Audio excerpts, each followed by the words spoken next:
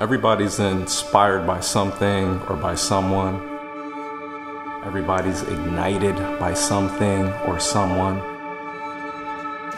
And basically, Muse to me is the, a beacon of inspiration.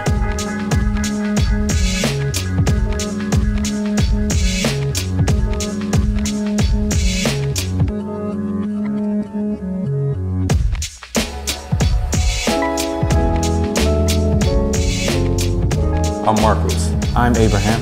I'm Sarah.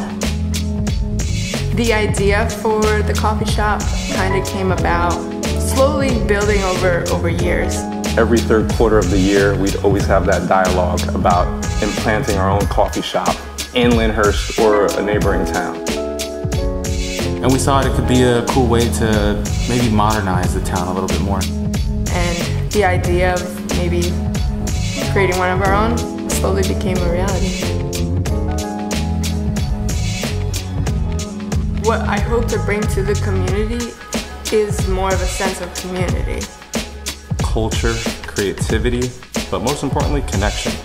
Even before connection, really good coffee.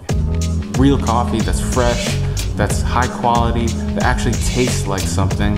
It's something like you've never tasted before. It's not coffee that you've gotten anywhere else.